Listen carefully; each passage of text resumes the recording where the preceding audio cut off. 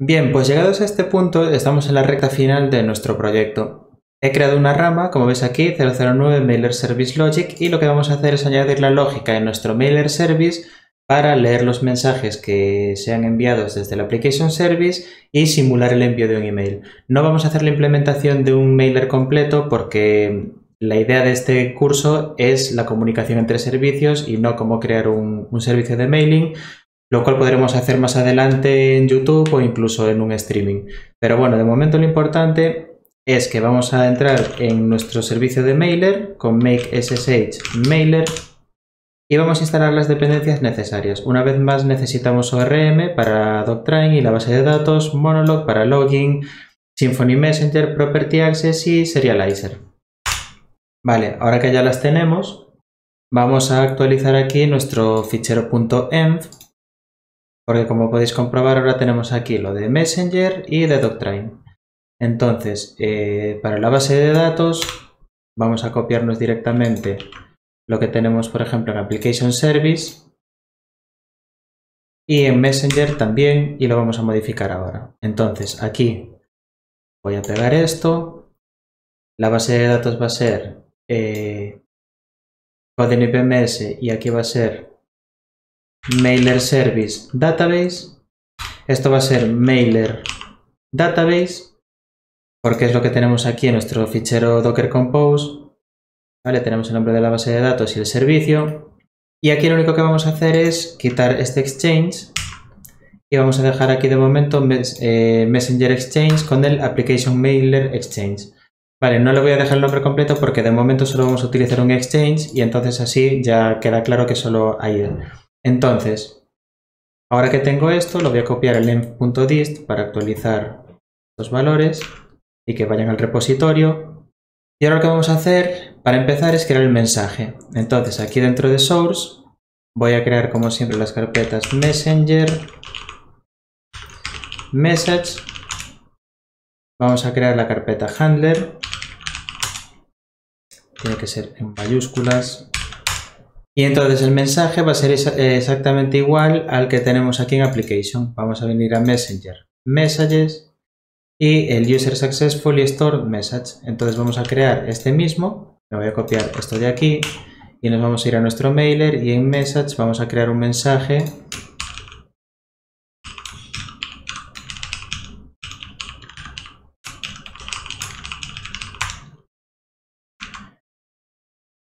Vemos que aquí tampoco me está creando lo del namespace y eso es porque tenemos que ponerle aquí en Settings, Directories, y tenemos nuestro mailer y aquí en src. Vamos a hacer clic aquí. Y esto se va a utilizar para generar eh, los namespace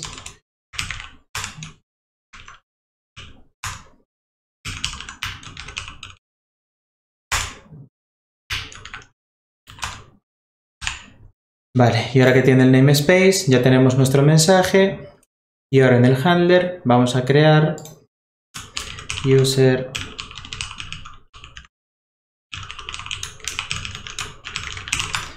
el handler que va a implementar la interfaz message handler interface.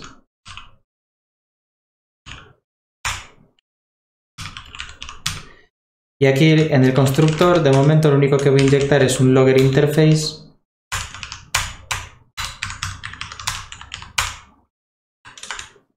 y tenemos el public function. Invoke que va a recibir un user successfully stored message. No va a devolver nada y aquí lo único que vamos a hacer es loguear el contenido del mensaje. Vamos a poner sprintf y vamos a poner name. Bueno, vamos a ponerle aquí handler para que se vea bien y vamos a poner name, email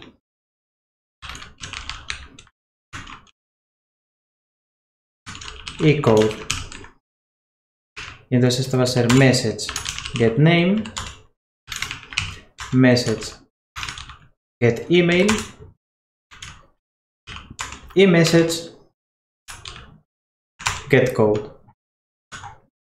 Vale, entonces simplemente vamos a loguear esto y ya está. Y ahora la configuración de Messenger. Voy a cerrar todos los tabs y lo que voy a hacer es me voy a copiar la configuración del Messenger YAML que tenemos en nuestro Application Service, así tal cual esto.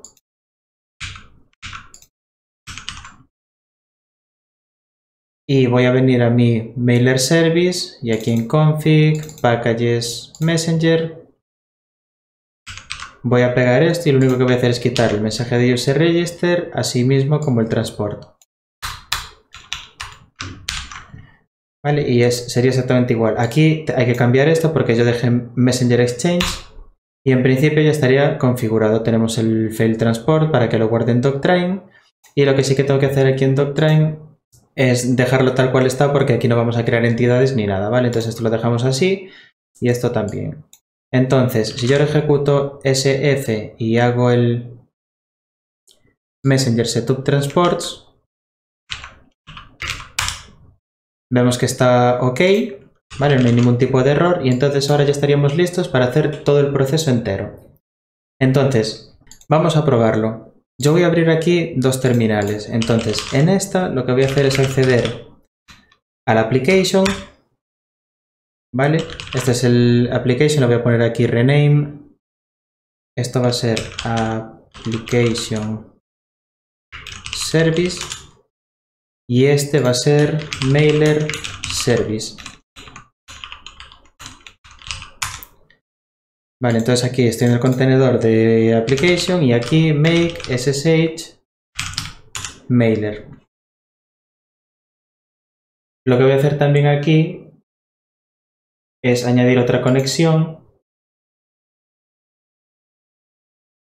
Y le voy a llamar eh, local y codenip ms mailer. Aquí dijimos que era el puerto 10200 eh, usuario root contraseña root. Probamos vemos que funciona. Y en esquemas vamos a utilizar el mailer database y mailer database test. Vale, ahora ya tenemos las dos conexiones. Si yo aquí refresco el mailer database, vemos que ya me ha creado la tabla de Messenger Messages porque he ejecutado el comando anteriormente de setup transports y eso lo que hace es crear automáticamente esta tabla. Entonces, ahora en Application Service voy a borrar el usuario que tenemos y ahora lo que voy a hacer es escuchar mensajes que vengan de Register Service. Entonces voy a hacer Messenger Consume. Y aquí voy a seleccionar el 0. Vale, y entonces ahora el Application Service está escuchando mensajes que vengan de Register Service. Y en Mailer Service lo que voy a hacer es escuchar mensajes que vengan del Application Service. Vale, ya ha procesado un mensaje porque es el que teníamos del ejemplo anterior. Si os acordáis cuando hicimos el caso de uso, quedó el mensaje allí en Rabbit. De hecho, si venimos aquí a Rabbit, vamos a ver que en el Application Mailer acaba de consumir ese mensaje que teníamos ahí. Pero bueno, eh, vamos a hacer una cosa y es hacer esto grande. Y entonces ahora vamos a venir aquí a Postman, vamos a hacer una petición aquí y lo que va a pasar es que esto va a hacer una petición al API de Register de Register Service. Este va a enviar un mensaje a Rabbit, Application Service va a leer ese mensaje, lo va a guardar en la base de datos, va a enviar un mensaje a Rabbit y Mailer va a leer ese mensaje y lo va a loguear. Entonces hago clic en enviar, vemos que aquí se procesa el mensaje, tenemos el usuario y si venimos al Mailer Service vemos que se ha ejecutado también y aquí tenemos el logger que hemos hecho, ¿veis? Handler name Juan, email juanapi.com y code, el código. Entonces ya veis que tenemos el flujo completo. Tenemos esa petición síncrona para comprobar si el usuario ya existe, tenemos la comunicación asíncrona entre register y application y tenemos otra comunicación asíncrona entre application y mailer. Si intento enviar otra vez la petición, ya esto a través de la petición síncrona que se hace a Application Service me devuelve que ya existe ese usuario y por lo tanto ya no ocurre nada. Ni aquí no se envía ningún mensaje, ni aquí se registra ningún logger. Y esto sería el flujo completo de nuestro caso de uso utilizando servicios. Y en principio esto es todo lo que queremos explicar en este curso. Eh, esperamos que os ayude en vuestros proyectos del día a día a entender un poco mejor cómo se puede hacer la comunicación entre servicios y sobre todo que tengáis muy claro que esta solución no es aplicable a todos los casos de uso.